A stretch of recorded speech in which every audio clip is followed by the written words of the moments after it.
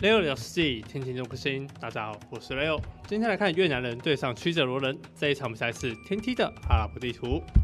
先来看一下大约出生点位，十点钟方向的 Balance 选择了越南人啊。那越南人的特色是它有帝王战矛升级哦，而且它的射箭场单位都有血量加成，包括这个马弓骑兵哦。那马弓呢，它可以高达九十二滴血，用起来算不错用。后期呢，也可以考虑直接打藤甲弓箭手，配上四百二十滴血的精锐毛相夫哦。那打法方面还是比较偏向于工兵单位会比较适合一点。步兵单位有大枪兵，所以要反制对方的游侠或者骆驼也没什么太大的问题。整体玩起来，越南人是非常强的文明哦，主要是因为它的经济科技哦，有这个研发速度两倍的效果。虽然不管是研发手推车啊、挖金挖石，还是农田伐木，都是非常迅速的效果。那我们接下来看一下大约出生点位，三点钟方向的 Viper 选择到了曲折罗人。曲折罗人特色呢是它的开局时会有两个果树丛。那果树虫呢，可以先吃哦。那可以先把这个羊呢放到这个魔方里面哦，慢慢挤它的羊奶啊。所以可以看到 Viper 这边的食物会慢慢增加哦，算是一个不错的效果。那曲折罗人呢，它比较先比较强大的东西是它的闪避嘛跟它的重装骆驼都是伤害比较高的，而且它有正常大陆马升级，后期呢也有杀地力可以做使用。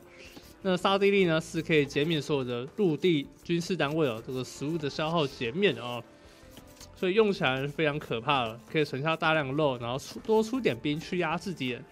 那后期呢也可以适合打骆驼工兵啊，或者是骆驼，有这个前线卫队哦，近战防御率还可以再加四点哦。但是它有一点要值值得注意的事情是哦，它枪兵不能升级，所以要特别注意城堡时代被断金游侠打一波打到头破血流的问题啊。那么接下来看一下两边的地图。那 Viper 这边是看起来地图还可以，但这个黄金就有点尴尬了。这黄金在前面有点难受啊，右边这个黄金也是的。他们这个黄金是还 OK，还有这个果子。整体来说，Viper 的开局地形哦算是很 OK 的。那么接下来看一下办公室，办公室这边的地图看起来是有点微妙的。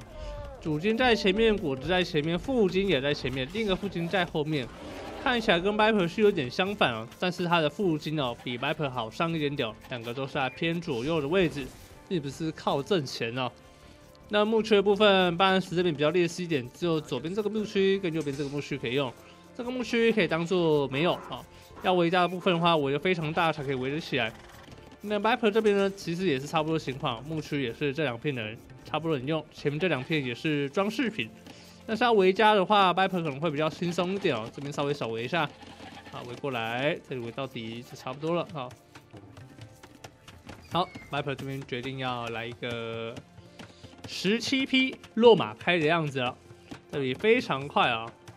那最近我的舌头破呢，到了第三天哦，还在痛，所以现在讲话还是有点大得抖啊，所以请各位多多包涵哦。好，Viper 这边点下了一级伐木，看起来一级伐木点完要马上点这个一级农田了吗？好，果然点完一级农田，Viper 最近的流程大概是这样子的。那连 Hera 也是这样走，点一农一木了，很少再去偷这个一级农田了。以前这个 Meta 呢都会说哦，这个一级农田可以不点哦，但现在看起来，不管是 Hera 还是 Viper。只要是职业选手们哦，他们还是去选择哦，点一下一级农田哦。毕竟有没有一级农这个撒农田哦，真的是亏的成本有点多。好，那现在落马过来看一下。好，这边骆驼踩点，枪兵戳到了 Viper 的落马一下。好，目前看起来 Viper 是没有什么太大的问题。问题是该怎么防守呢？这边落马继续绕。哦，落马三只过来了，防守是一大问题。家里没有围死，先围个资源点可能会比较安心。但是 Viper 想要先发制人，结果已经围好了这个幕墙 mike 没有办法直击资源点的村民。好 mike 这边来不及围。三只肉马直接上去，但是 Viper 第一时间回击了回去。好，那前期的部分就是落马打落马，你骚扰我，我骚扰你。但 Viper 这一村被拿下，第二村也有机会吗？枪兵还在绕，工兵努力点掉，但是这边村民直接被打死。当时开局拿到了村民双杀，非常的赚啊！好，Viper 这波也想要硬上，结果 Viper 也拿掉了一村啊。好，罗马开局就是这么的有优势啊。那现在两边都是转出了工兵做防守跟反制对方枪兵的路线啊。好，点了一个兵工厂，Viper 是这边想要打一个速攻战法，点了一级色啊。好，这里牧区可能会先拿工兵稍微控一下吗？好，这边打算直接走进去，不控你墓区。好，左边没维持。家里的兵刚刚有点断，巴兰斯这边重新补下了枪兵。好，艾普的工兵也在补，但肉马没有补了。好，这波白普会打，工兵第一时间点掉枪兵，枪兵在原地巡逻。后面的肉马再继续输出，骆驼狮吼倒下，三只工兵还在输出，但一直被后面的工兵射，有点血亏。OK，血量掉的有点多。好，白普这边又赚到了一村，这一波不亏了，有抓一村就是赚。好，白普还在秀，这一村能拿下吗？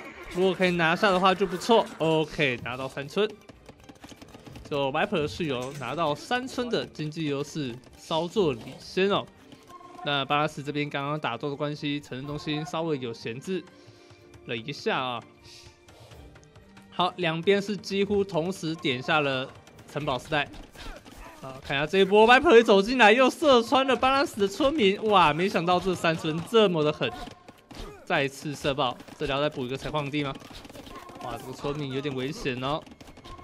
好，看起来巴拉斯有点操作不过来，里面其实是有工兵的啊，残血的。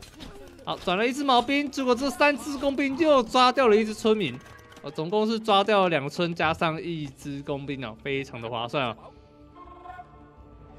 好，这就是 Viper 的手术，好，非常的狠。那接下来三十二村对三七，巴兰斯当然也不是泛泛之辈啊。我们来看一下，他应该会开一个三 TC 开农路线哦。毕竟巴兰斯这个文明经济型文明，不开农对不起他啊。呃，这边可以考虑把房子低了，往外开城中心，呃去守自己的附近。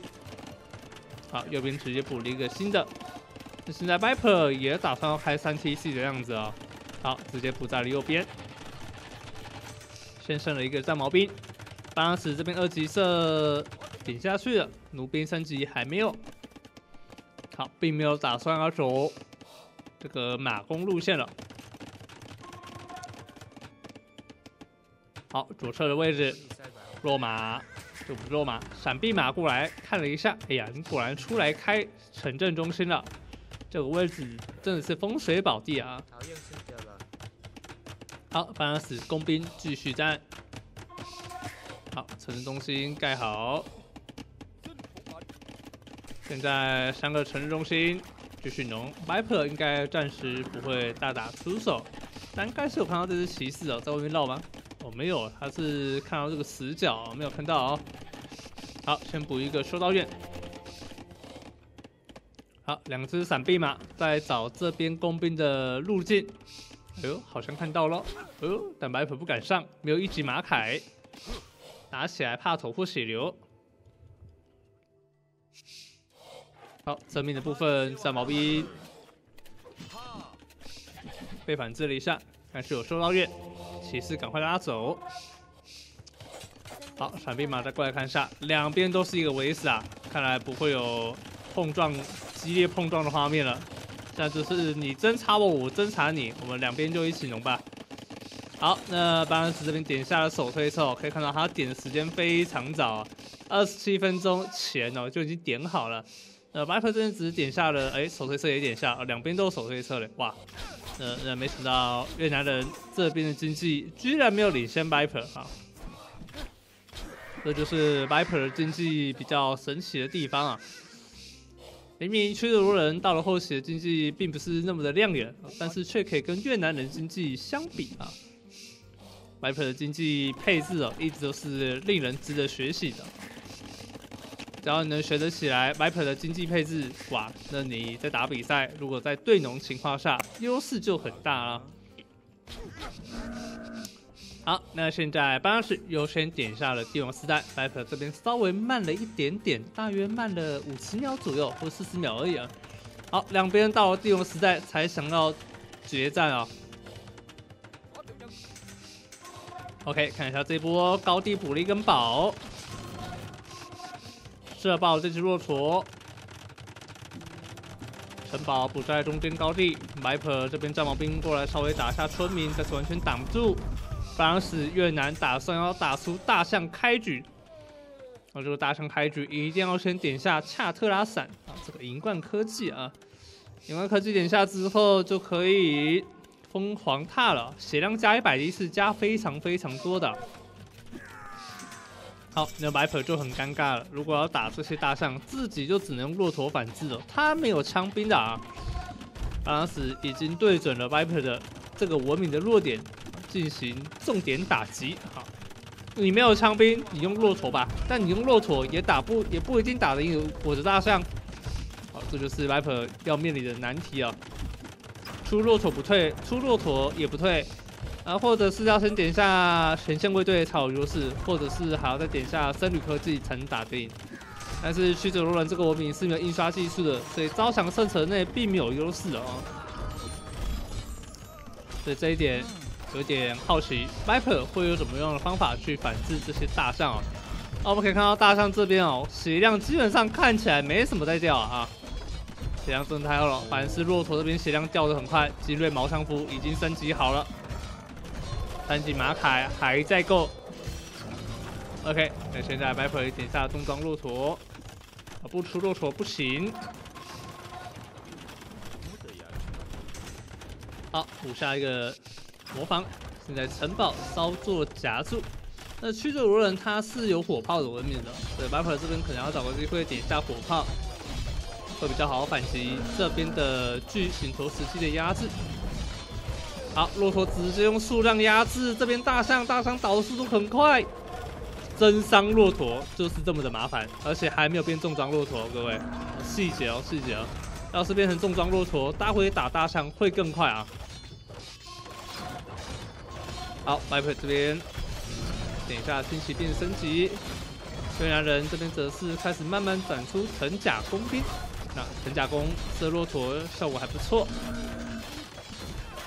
好，Viper 使用大量骆驼，直接手撕了三台巨型投石机，后面巨型投石机还在出。好，看来打分直接用骆驼 A 死大象了。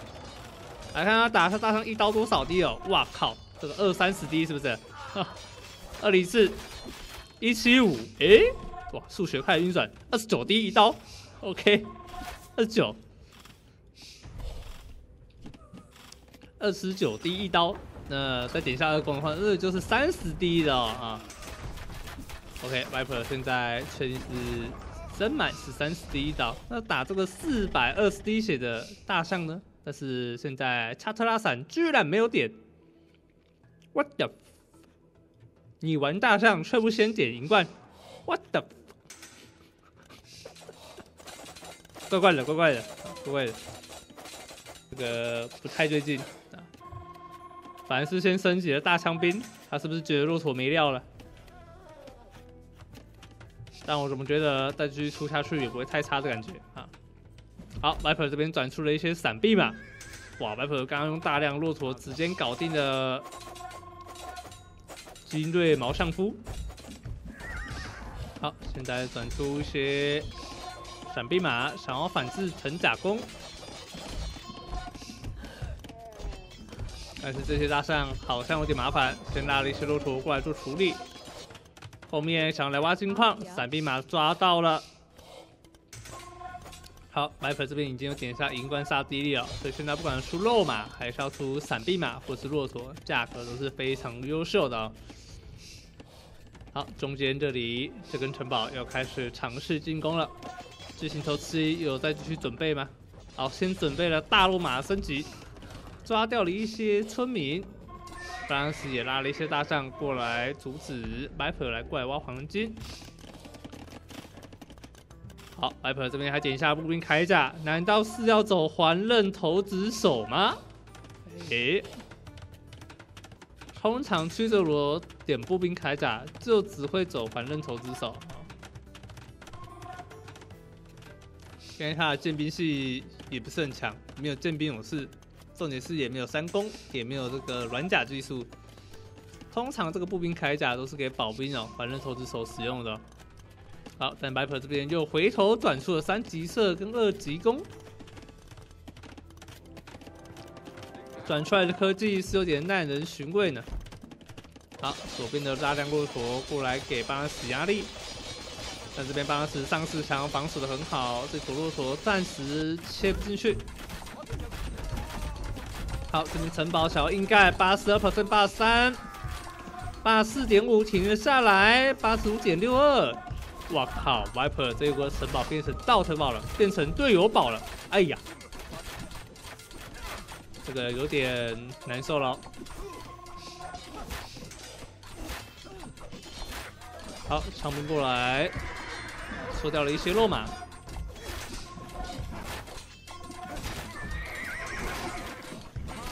好，在毛兵这边尝试把这个枪兵给丢回去。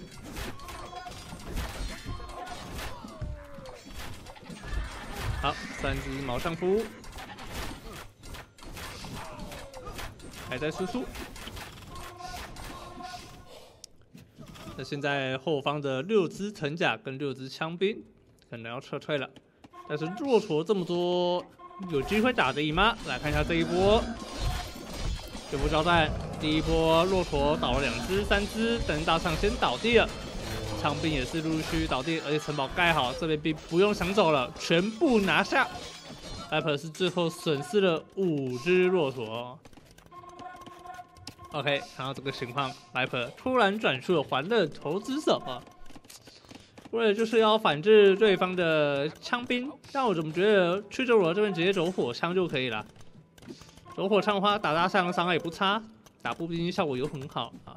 走环人投资手的话，打大象就是在刮痧，所以这一点我觉得挺纳闷的啊。感觉走火枪更万用一点啊。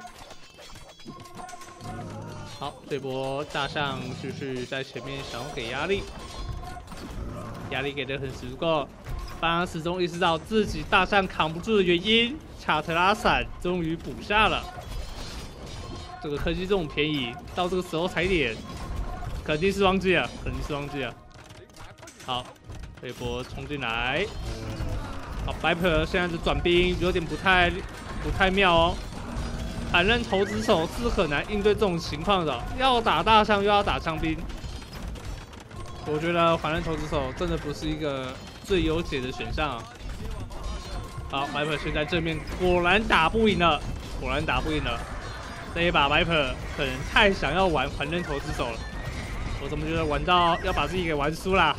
不太能打得赢哦。枪兵加上这些大象，原来这个组合说白了就是机动性好，可操可操作性强。但缺点也很明显，啊，打错东西就在刮痧，所以 Viper 一定要尽可能的去操作环刃投掷手，才能把它的价值给打出来啊。好，大量强兵从中间这个洞走进来，但是 Viper 没有第一时间把环刃投掷手拉过去做处理，，Viper 的骆驼跟骆马快要被戳烂，，Viper 的剩下环刃投掷手站在中间的位置，但是大象还在够。巨型投石机还有四台，等着 Viper 打出了 GG，我们恭喜巴兰斯拿下比赛胜利。哇，果然啊，这个一出反刃投掷手就没辙了，就没辙了。感觉白普的是有点硬要啊，但不得不说哦，这个驱逐的人遇到对方走大象的时候是非常难打的。而且巴兰斯这把打得很好的地方是哦，这里有上大石墙，让 Maver 没有办法做一个多线自袭骚扰。那虽然后面刚刚有一些骚扰到了一些迹象，但是正面扛线啊，对于大象来说，驱逐罗人还是很难解啊，可能还是要多靠僧侣的招降跟环刃投掷手，哎，不是环刃投，火枪兵跟骆驼去做出一个搭配，那可能会更好一点哦。哦，这是我个人想法啊。好啦，那么今天影片就差不多到这了。那如果喜欢这部影片的话，请记得把刷订阅。我们下次再见喽，各位，拜拜。